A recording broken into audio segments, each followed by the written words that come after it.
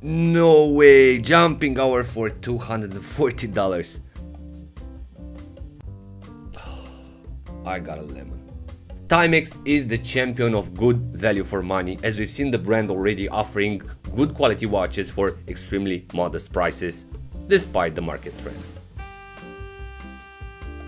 The brand didn't stop here and a couple of weeks ago Timex came up with a Q 3 time zone chronograph, a budget tool watch with the capability to measure 3 time zones on top having a chronograph function as well. These features being cased on a specific and beloved Q design.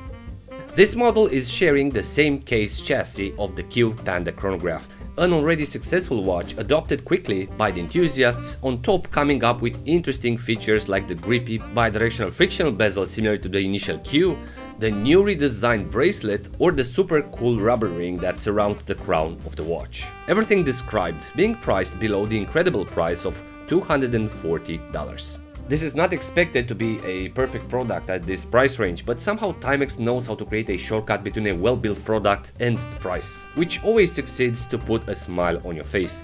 Because you look at it and say, how they managed to make such a fun, well-sized and complicated wrist companion for G-Shock money.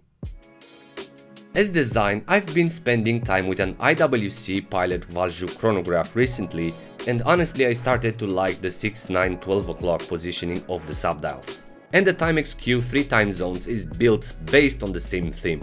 Somehow this dial design is recognized as a purposeful instrument. And Timex focused exactly on this statement. The function of the 3 time zone is tailored to provide accuracy and understanding in the same time. We basically have the ability to track 3 time zones and although it looks complicated, it's not.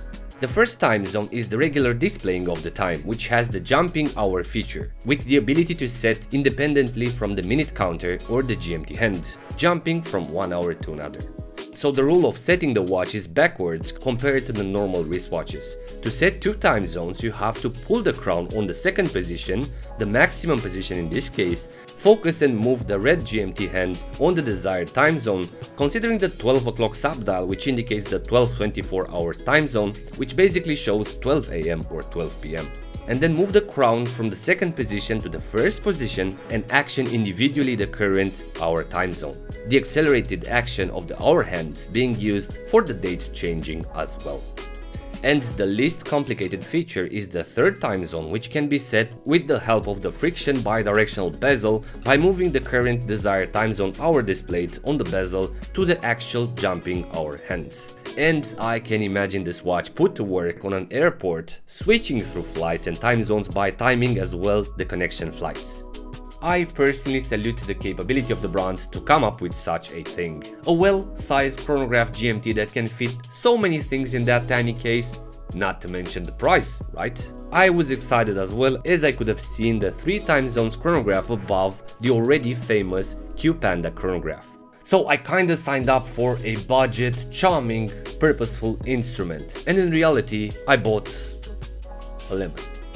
I bought last week this Timex from Europe and when I started to prepare the watch for the video shootings, what do you think? The watch, strangely, wasn't working. The subdials were stuck and the chronograph hand was working and I was like, what? And when I was inspecting carefully the watch to see if the crown is not in the hacking position, I noticed that the crown was totally bent and the position of it was angled and as I remember the unboxing, the watch was very well protected. I was quite amazed by the way it was packed. To succeed in bending the crown tube, you kinda have to apply a lot of force and obviously the crown will show marks of abuse or shock. But in this case it feels to be clean and immaculate. So this might have been a problem right from the factory. Timex lets a 3 time zone GMT go to market with a bent crown. But surprise, while maneuvering the watch, by opening and closing the crown, it started to work again. But that's not it, quality wise, I was surprised as well. The Q Panda chronograph kinda set higher expectations for myself, especially for this price point. The Australian batch apparently was well made, and besides the standard level of quality, the watch didn't have faults or assembly errors. Where in this case the three time zones bought from Europe was at the opposite pole, having a lot of unforced faults like the dial scratch, the bent crown tube, the wavy finishing of the polished areas, the scratched hands, and so on. And I'm pretty sure you'll say, Andrei, this is a $240 watch. What did you expect? I fully understand this flavor as I consider myself one of the fewer content creators who makes correct assessments when it comes to judge value for the money asked. And here it wasn't about poor quality but more about sloppy handling and maybe the failure of maneuvering more complex features. But surely the Q Panda chronograph set the standards quite high, increasing my expectations, maybe too much.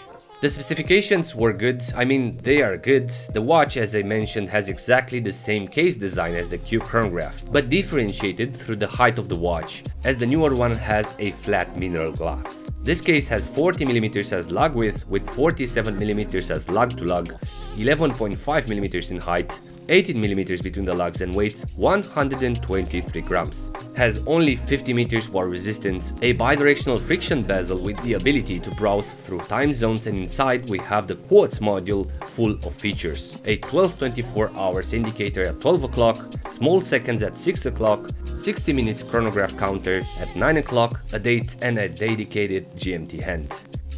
The module specs are totally unknown, but for sure this is a hybrid module between a GMT and a chronograph, as we can see the chronograph swipe of the second hand.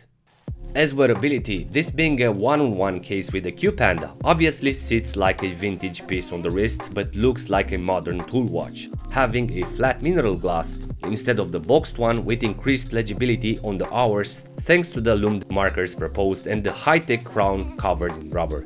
On this model the bracelet is more comfortable without pulling hair from the wrist when sliding the watch on the forearm.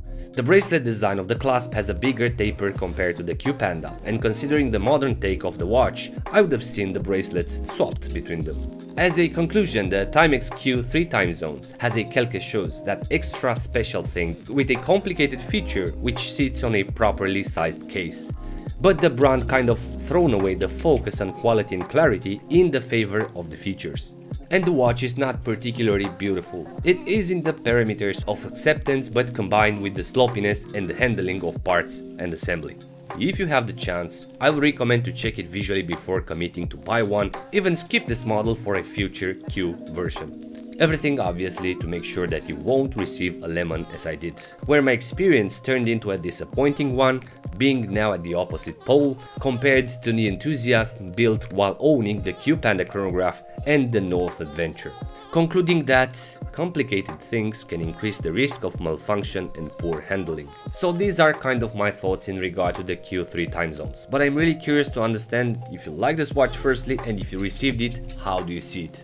Please let me know in the comments below. And as usual, if you're new around, please consider subscribing for future episodes. Thank you very much. Thanks for watching and until next time. Be brave, but stay safe.